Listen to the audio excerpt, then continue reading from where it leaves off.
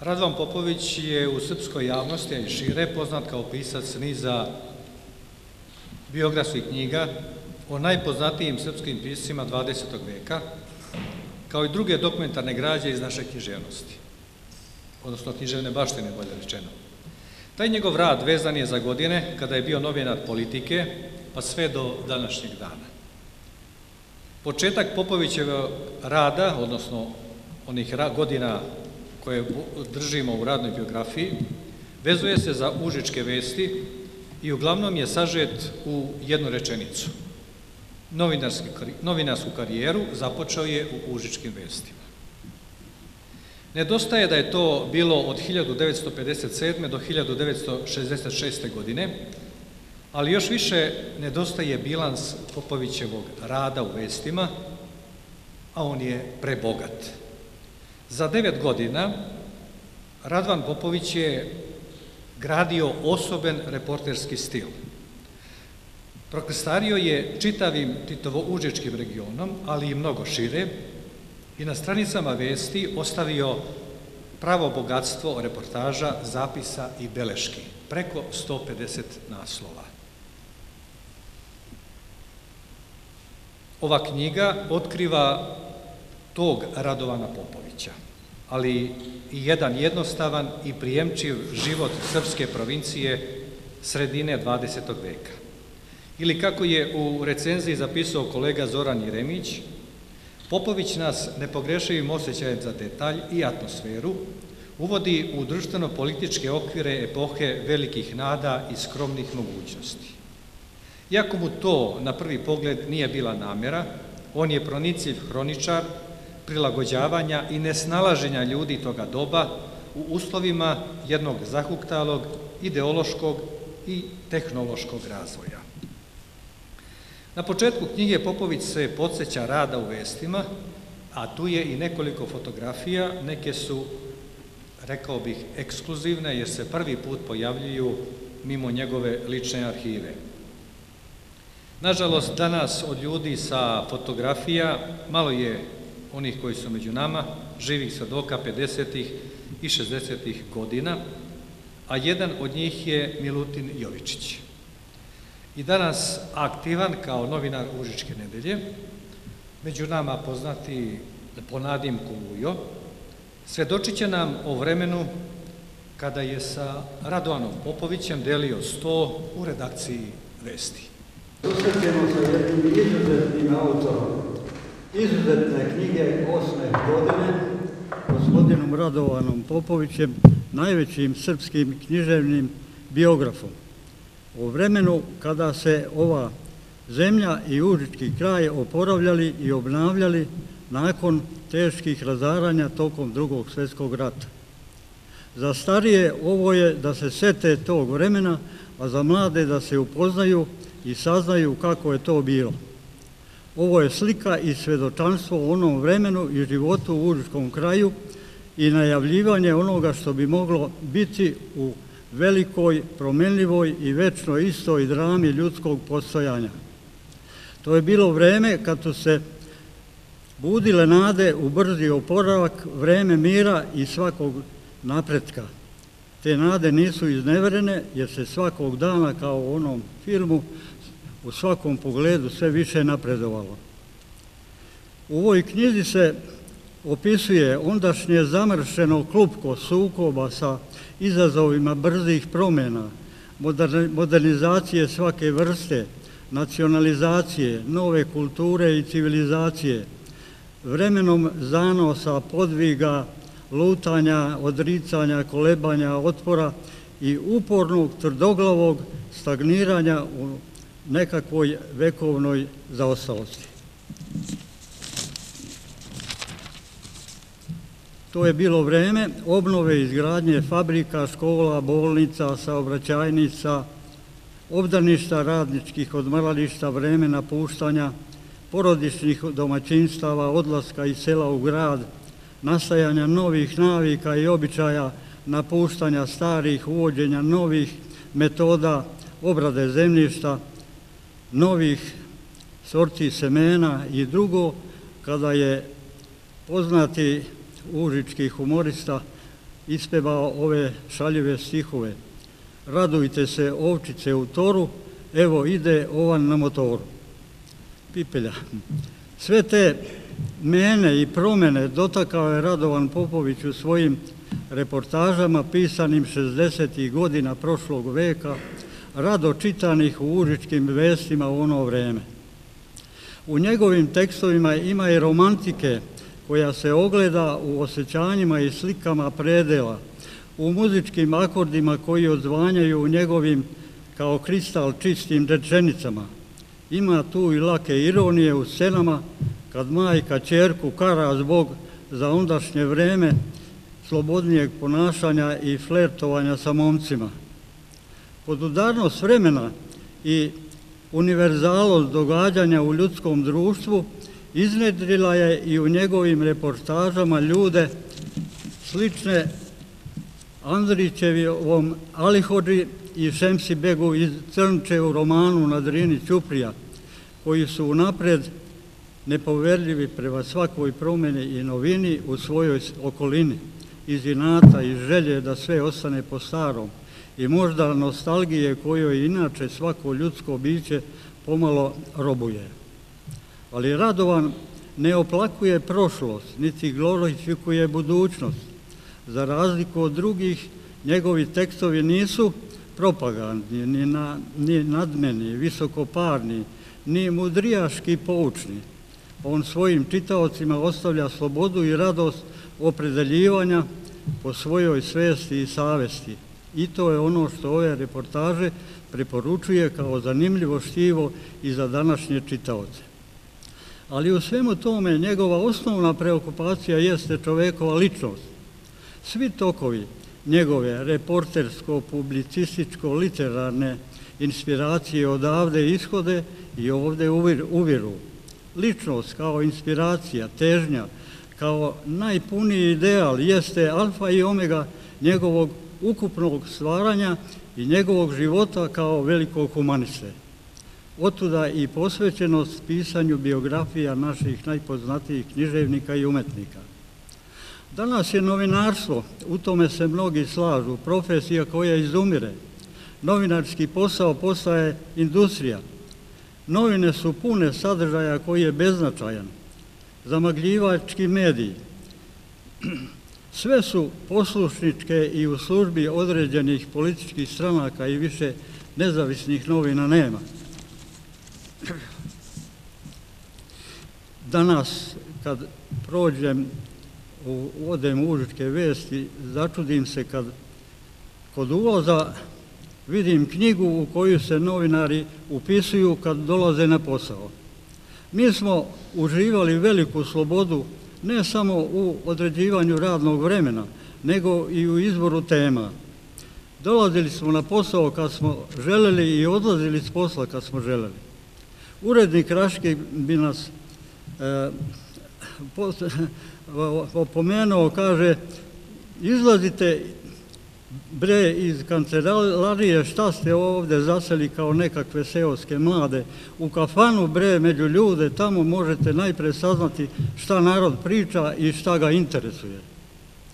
Kako je rekao akademic Simović na otvaranju sajma knjiga u Beogradu, živimo u vremenu velikog paradoksa.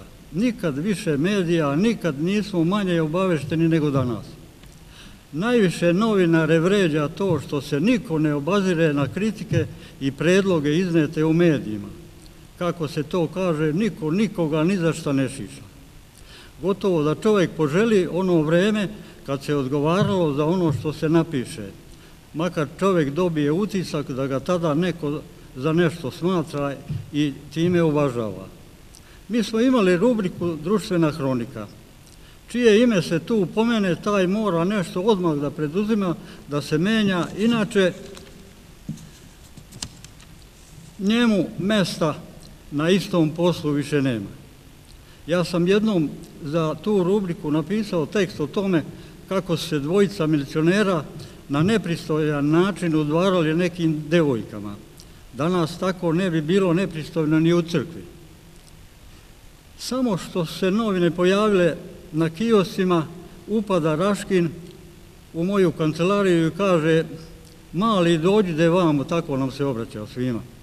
U njegovoj kancelariji već je bio načelnik milicije i ovako mi rekao, druže Jovičiću, sad ću da postrojim ceo milicijski sastav, ima da mi pokažeš tu dvojicu. Raško je svoje reportaže pisao u takvim uslovima, vesti kao regionalni lid bili, bile su čitane, imale visok tiraž. On je svojim tekstovima tome najviše doprineo. Tako su sigurno njegove reportaže imale velikog uticaja na promene u ljudskoj svesti, iako on nije angažovano na tome insistirao. Teme za svoje reportaže je birao, nikomu nije odobravao. U svakoj prilici se ponašao kao novinar i svoja zapažanja i susrete i razgovore sa ljudima prenosio na papir. I to tako lako i lepo da smo se njegovom stilu i mi njegove kolege divili i pomalo zavideli. Nisam u tom pogledu upoznao nikoga njemu sličnoga. Ponekad smo u to vreme imali susrete novinara sa šireg područja i na njima se primetio sam najviše govorilo o Raškovim reportažama. Bio je popularan šire od Užičkog regiona. On bi seo za mašinu i za cijeli čas otkucao svoj tekst i samo malo ovde, onda nešto ispravio. A za to vreme mi smo se preznojavali dok smo odgovarajuća slova na mašini pronalazili i pritom toliko svoje priloge iscedili da više nisu ni bili za objavljivanje gotovo. Njegove reportaže u stvari su osobita razmišljanja o čovjekovoj sudbini. On tu zadire u samu srž postojanja želeći da razgrne naslage slika koje nas okružuju, da pronađe životni damar kojim bi se moglo objasniti sve, kao da je želeo da u svemu nađe kap večne istine, jedinstvene istine, ako takva postoji, o smislu života uopšte. U tome su njegov talenat, stvaralački nerv i društvena promišljenost dovedeni do prvorazredne spisateljske veštine. Njegove raznovrsne reportaže povezuju osnovne ljudske emocije, ljubav, bol, tuga, radost, očajanje i druge univerzalne osobine ljudskog bića. Tako se u ono doba, iako se ono doba oskudevalo u mnogim potrebama, ipak mi ondašnji o tom vremenu nismo, nosimo lepe uspomene. Nije ni čudno jer smo mi tada imali po dvadesetak i malo više godina. Raško je bio od mene mlađi po godinama, ali sa dužim stažom u novinarstvu, pa mi je dosta pomagao da se bolje snađem. Zbog onih mladih želeo bih da dodam da je ovaj mladić sa moje leve strane bio ljubinac ondašnjih srednjoškolki. One su tako reći dežurale na trgu da ga vide kad prolazi i njegove reportaže prosto gutale. Trudile se da mu se nekako približe, susretnu s njim, a nekima je pošlo za rukom da mu ilustruju crtežima tekstove u novinama. Neke takve ilustracije nalaze se i u ovoj knjizi. Ne znam da li sadašnje generacije srednjoškolki imaju nekog ljubimca među novinarima.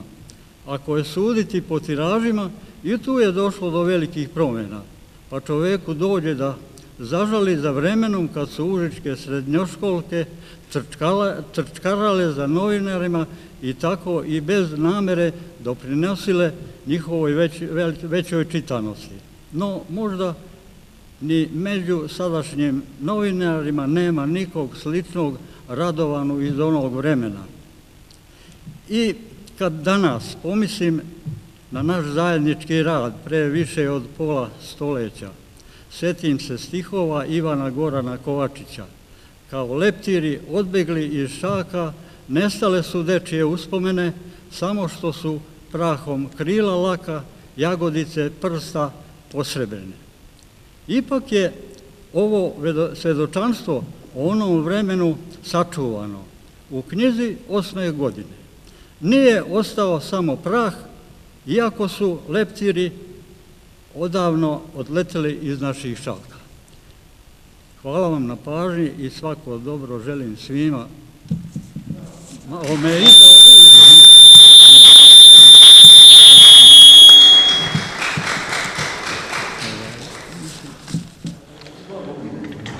Kada smo pred dve nedelje ugovarali ovu promociju, Radovan je predložio da govore dva njegova prijatelja. Najprije doktor Gojko Tešić, redovni profesor Filozofskog fakulteta u Novom Sadu, književni istoričar i eseista, vrsni znalac srpske međuratne i savremene književnosti, legendarni urednik književne reči, polemičar bez premca, čija je mesijanska uloga u srpskoj kulturi izuzetna, između ostalog i čovek koji drži jedinstven rekord u našoj kulturi, uredio je preko hiljadu knjiga. Drugi je njegov prijatelj iz davnih i današnjih dana, pesnik Ljubivoj Ršmović, posle Zmaja i Duška Radovića, najznačajniji pisac za decu. Između ostalog bio je i dugogodišnji televizijski novinar. Ršmović, međutim, zbog ranije preuzetih obaveza, putovanje u Prijedor, Kozara i Banja Luka, nije mogao doći, ali je uputio pismo prijatelju i zamolio da bude večeras pročitano. Evo tog Ršmovog pisma. Dragi Raško, pre 60 godina nekako smo zajedno krenuli u novinarske i literarne vode, goloruki i bosonogi, ali odlučni da istajemo. Tada nisam znao, ali sada znam da sve što smo očekivali, na neki lep način smo i dobili. Redakcija Vesti, u kojoj su radili Milojko, Stole, Raškin i Stevan Istorović, dočekala nas je čista srca. Davali su nam zadatke koje smo rešavali i zagonetke koje smo odgonetali. Danas bi bili ponosni onim što smo uradili. Ovu tvoju najnoviju knjigu, Osmeh rodne godine, vidim kao zahvalnicu tim dobrim ljudima, ne samo kao dokaz tvojeg kvalitetnog bavljenja novinarstvom. Da nije bilo kvalitetno, ne bi od njega mogao izgraditi onu velelepnu literarnu građevinu od preko 20 knjiga o najvećim srpskim piscima. Zajedno smo započeli, a sudbina je udesila da zajedno završavamo našu životnu avanturu kao braća po peru, braća po jeziku, ali i braća po nimalo prijatnoj samoći ovoj staračkoj. Žurili smo, žurili, ali Branka i Nataša nas prestigoše. Ostaviše nas da u ovoj dvosamljenosti tražimo utehu i razloge za onom utisku, da cilju koji smo nišanili celog života beži od nas i da ga nećemo stići. Ipak seo sam za kompjuter da ti napišem ovo pismo sa tvrdim uverenjem da je taj cilj Fata Morgana. Cilj se nalazi u našim glavama. Mi smo ga dosegli i pogodili u centar. Onda kad smo goloruki i bosonoki odlučili da krenemo u novinarske i literarne vode. Zato živeo ti meni i ja tebi. Pozdravi taj narod u Užicu koji te sluša i gleda, a mi ćemo nastaviti da se slušamo i gledamo u našoj prijatnoj osamljenosti uz produženi espresso sa mlekom za šećeren medom. Pozdravljam te, bratski, tvoj Ršo. A sada obratit će vam se profesor dr. Vojko Tešić. Hvala za vam. Dobro večer. Radovan Popović je za mene jedan izuzetan simbol u svakom smislu. U ljudskom, stvarlačkom, u onome što njegovu izuzetnost e, odlikuje jeste nešto što najveći deo intelektualaca ne odlikuje. Moralna doslednost, stvarlačka radoznalost i širina, toplina i ljudskost, nešto što je redkost e, i što ne postoji ne samo u Srbiji, nego znatno šire. Nije zavičaj Radovana Popovića dub, Bajna bašta i Lužice. Zavičaj Radovana Popovića je onaj stvarlački prostor, onaj stvarlački vrt koji je on obdelavao širom Jugoslavije. Čineći, se, čineći taj poduhvat,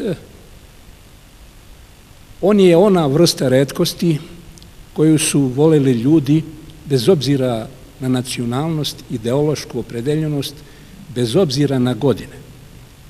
Od onih koji su najstariji, koji su prevalili stotinu leta, do onih najmlađih.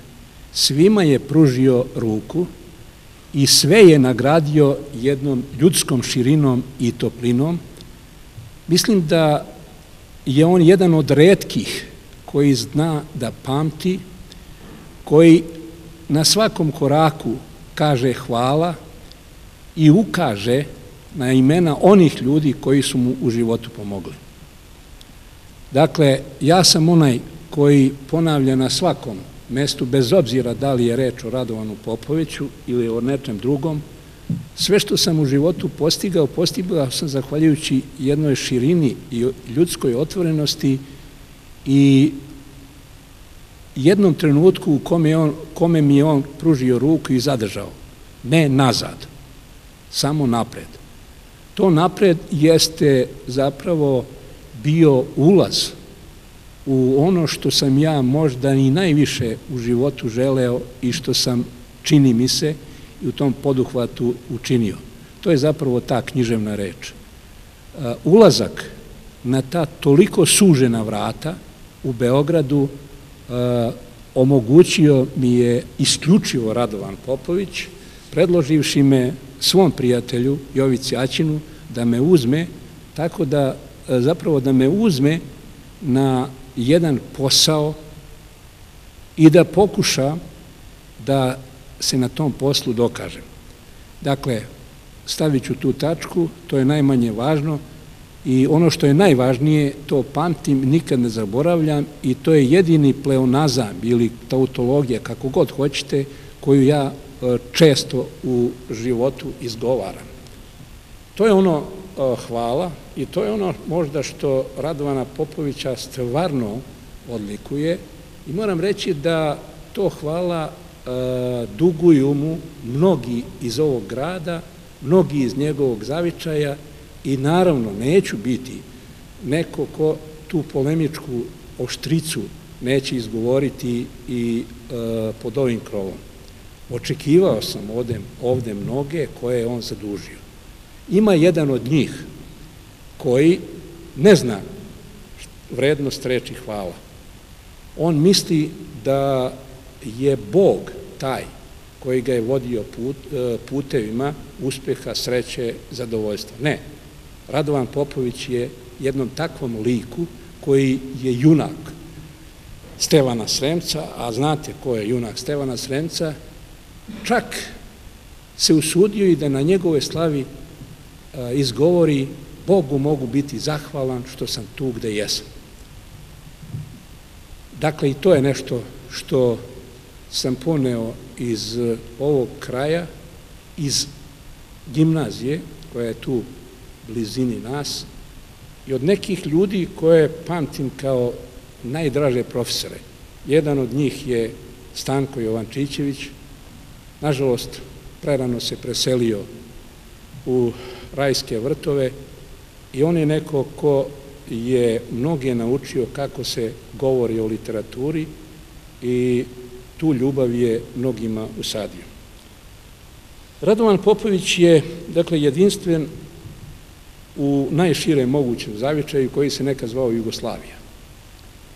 Od Slovenije do Makedonije, od Crne Gore, Bosne i Hercegovine, Hrvatske i tako dalje, usuđujem se reći da ne postoji u srpskoj kulturi, da li je reč o novinaru ili je reč o piscu, koji je u politiku uveo u godinama kada je bio jedan od e, urednika.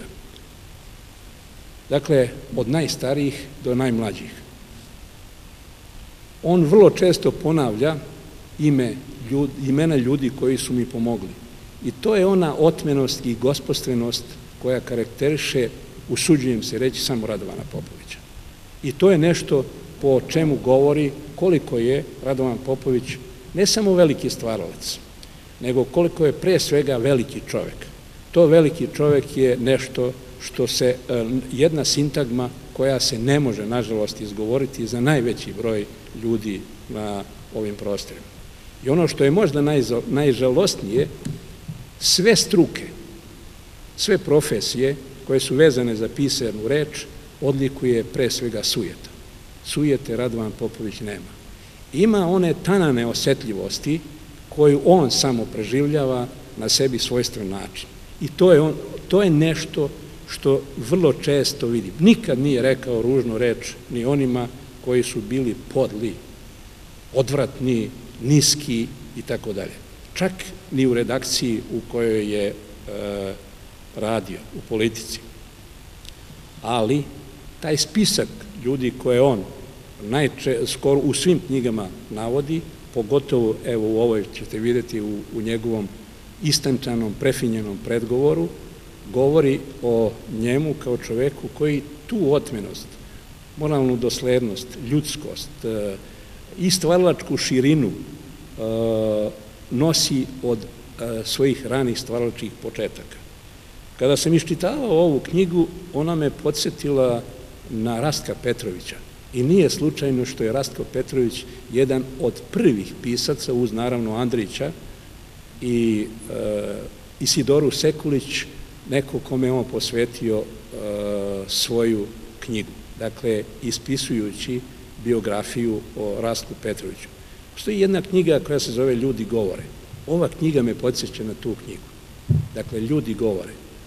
Radovan Popović je neko ko je od samih početaka stvaralačkih shvatio da je priča, ljudska priča, najvažnija. I da pričati, priča i pričanje je nešto što je karakteristično za Andrićevu poetiku. Dakle, Andrić je neko ko stoji na početku e, ranih stvaralačkih radova Radovana Popovića. I nije, dakle, ponavljam, slučajno što je zapravo Andriću posvetio najveći broj knjiga. Dakle, ta ljubav, ta vrsta strastvenosti u pisanju biografija je nešto što u ovoj literaturi ne postoji. Ali šta odlikuje još e, izuzetno širok stvarlački opus Radovana Popovića? Dakle, jedan stvarlački okean.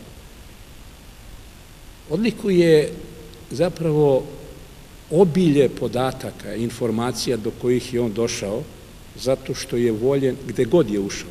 Da li je ušao u Prašnjav arhiv, da li je ušao u privatnu biblioteku ili privatni arhiv, a on je verovatno jedini koji je mogao da uđe i u stvaralački arhiv nekih pisaca koji su po prirodi stvari mizantropi. Dakle, otvarali su, jedini čovek koji je umeo ili koji je imao zlatan ključ za dušu svakog pisca je zapravo Radovan Popović. A to e, što je taj rudnik najčešće poharan i što je taj rudnik e, zapravo e, poharao veliki broj kradljivaca koji pripadaju i moje struci, dakle, književnim istoričarima i profesorima. Dakle, ono što ja zna, dakle, znajući da je jedino Radovan Popović otkrio taj podatak ili o Ivi Andriću, ili o Rastku Petroviću, ili e, ne znam, u bilo kome, zapravo najčešće se u nekim takozvanim otmenim studijama pojavljivao kao otkriće. Taj svet, taj svoj nije umeo da kaže hvala.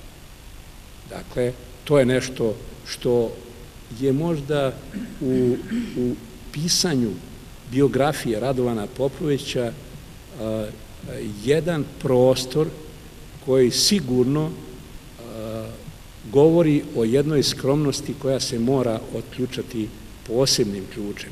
Dakle, naći ključ za stvaralačku radoznalost, za stvaralačku širinu, za stvaralačku inventivnost, za intuitivnost, za nešto što ne odlikuje najveći broj ljudi, jeste nešto što odlikuje isključivo Radovana Popovića. Dakle, odmah da kažem, nisu ovo fraze, ovo je možda najpreciznije ako jesam bio precizan, neka vrsta slike o Radovanu Popoviću. To je samo delić onoga što Radovan Popović jeste.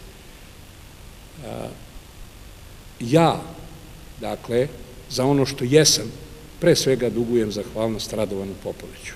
I to je nešto što će mene, što će zapravo biti neka vrsta mog moralnog e, imperativa. Zašto je ova knjiga važna? Ova knjiga je važna jer e, u stvaralačkim radionicama nekih velikih pisaca rani radovi su nešto što ih određuje.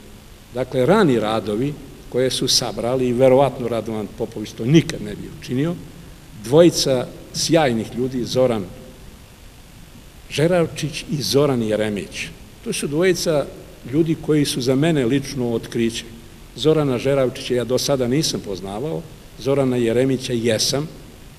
Zoran Jeremić zna dobro moju polemičku oštricu, koju nisam štedeo ni prema onima koji su me nečemu učili ili mi nisu omogućili ili su mi uskratili, ali u svakom slučaju Radovan Popović je jedan od najznačajnijih bisera, od najznačajnijih ljudi iz ovoga kraja. On je Užice višestruko zadužio. Zadužio je ogroman broj stvaralaca kojima je on pružio ruku.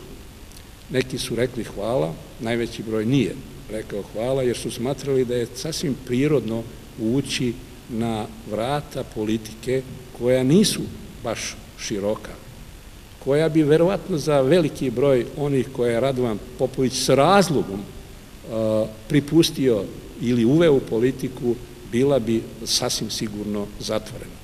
Nije on zavičajice uvodio u politiku zato što oni ne vrede. Zavičajice je on uvodio one zavičajice u politiku koje je verovao. Radovan Popović je naprosto i darovanjem svoje biblioteke, ogromne biblioteke, dali učiteljskom fakultetu ili, ili Narodnoj biblioteci, koja bi po mom uverenju trebalo da nosi ime Radovana Popovića, Narodnom muzeju je e, zaveštao legat i ko zna šta sve Radovan Popović nije uradio što ja e, e, ne znam, zapravo nisam ukazao na jednu vrlo važnu specifičnost ili posebnost Radovana Popovića. Nikad u životu nije izgovorio ja sam to uradio, ja sam pre ovoga, pre onoga. Dakle, to ja u rečniku, intelektualnom rečniku Radovana Popovića ne postoji. Dakle, on radi, objavi knjigu, njenom sudbinom se ne bavi, njenom sudbinom se bave kradljivci, a pokad kad se pozabave i oni koji znaju koliko su te knjige izuzetne i važne. U tom smislu Slobodan Gavrilović je učinio jednu vrstu poduhvata i on je jedan od onih redkih koji zna koliko je misija Radovana Popovića u srpskoj kulturi važna. I na kraju, Radovane, veliko ti hvala za sve ono što si uradio i za mali i za najširi mogući zavičaj. I za mene, naravno.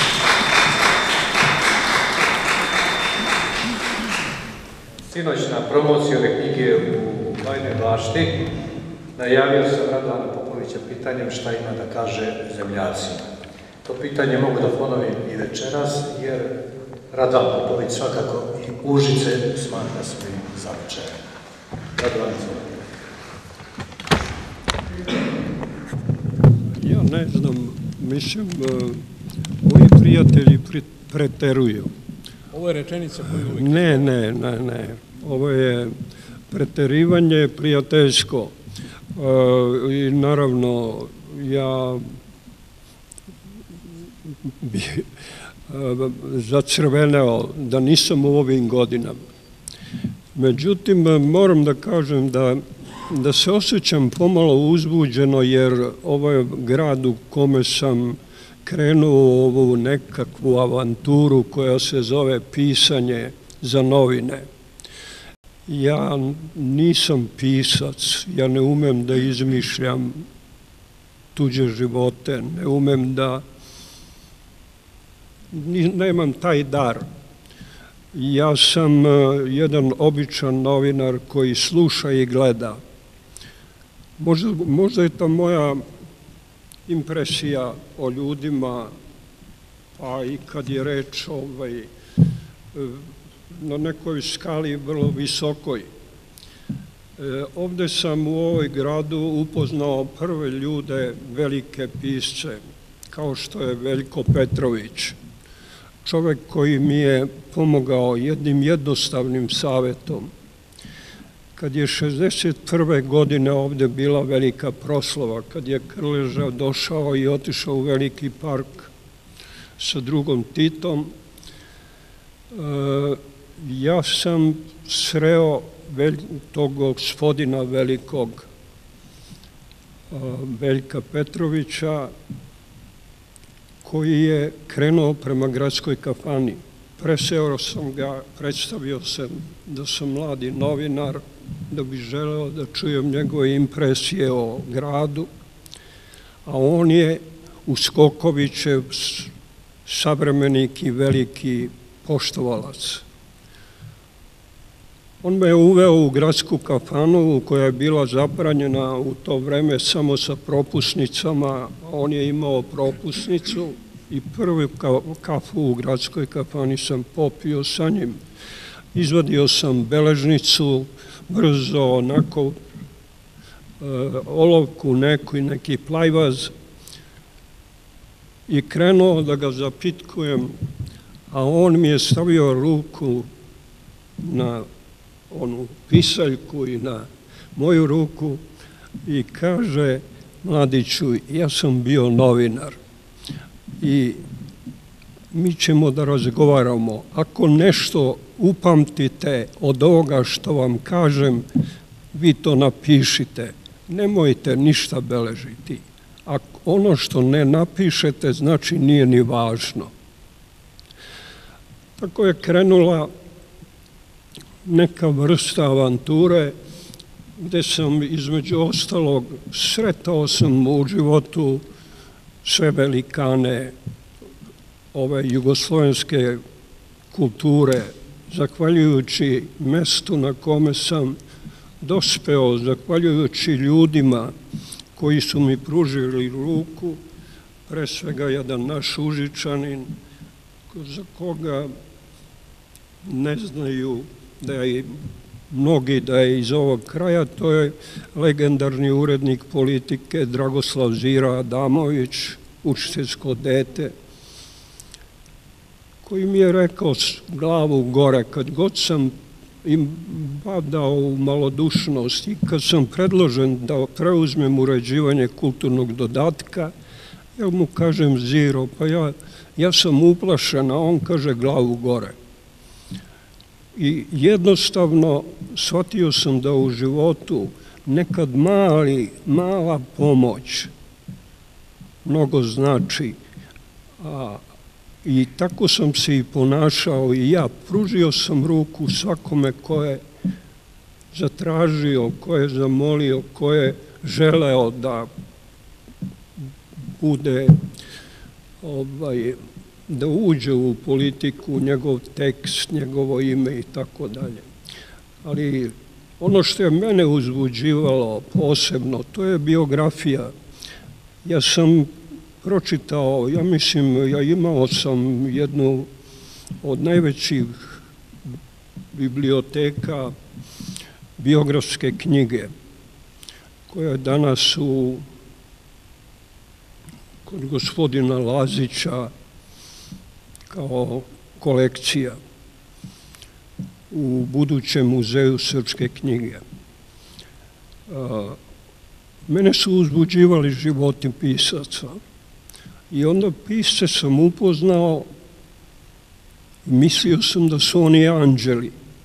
Međutim, među njima ima toliko dobrih, ali i toliko protuva da je to neverovatno. Ovaj, dopadali su mi se neki a, koji su iskreni i jednostavni. Taj komplikovani Joyce, taj njegov ulik koliko je komplikovan, a on je jednostavan bio, zaljubljen u svoju noru, u svoju ženu, kad ga je u knjižari stekla, zatekla jedna od obožavateljki, i, i kad mu je rekla, gospodine Joyce, dozvolite da poljubim vašu ruku. A on joj kaže, gospođo, da vi znate gde je sve ta ruka zavlačena, nikad je ne biste poljubili. Dakle, ljudi su čudni. Između ostalog, čudan je um, mnogi od njih su bojemi, jedan od tih, jednog od tih sam upoznao i u ovom gradu, to je Slobodan Marković Libero Marconi, koji je u ovom gradu išao dijagonalno, kako je nazvao jednu svoju zbirku pesama. Pijanci idu dijagonalno. On je, kao svaki bojem, privlačili su ga legende u bojemstvu, jedan od tih je bio Tin Ujević. On 50. godina napusti studije i dođe u Zagreb i rano jutro prvim vozom ili vlakom i sa, sa kolodvora ide pravo u pozorišnu kafanu gde stoluje Tin Ujević, provodi noć. Zatekne ga na stolu krš, čaša i flaša od vina, pridruži mu se i kaže gospodine Tin, ja sam napustio studije i došao sam u Zagreb da nastavim studije. Dosta mi je Beograda. Tin kaže, pijete li vino, pijem, naruči litar vina, pa jedan, pa drugi, pa treći. A onda mu kaže, mladiću, vratite se u Beograd, diplomirali ste. To je, e, pisci su, dakle, obični ljudi, mene to, ne postoje dva ista života, kao što ne postoje dva iste, dva ista prsta, dva ista lišta na drvetu i tako dalje. Ja sam pokušavao da odgonetnem te živote, ali nema savršene biografije i nema savršene istine.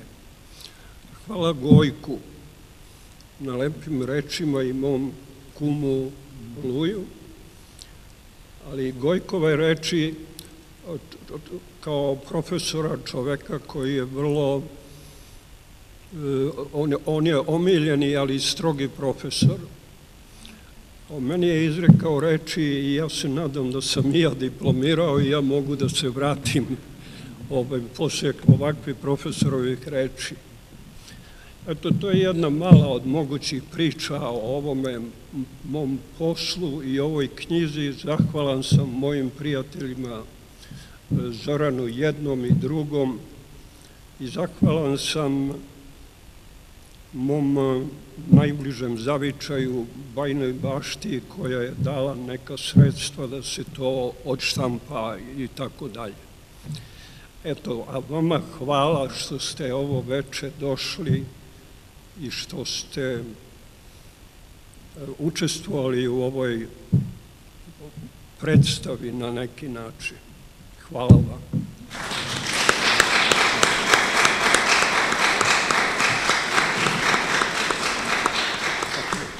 Ja ću se zahvaliti Narodnoj biblioteci Miloša Štrebinjac Krajne bašte i gradu Užice koji su financijski pomogli izdavanju ove knjige. Hvala svima što ste večeras bili ovde i iskoristite priliku da dobijete posvetku od autora na vaše knjiga u Hvala.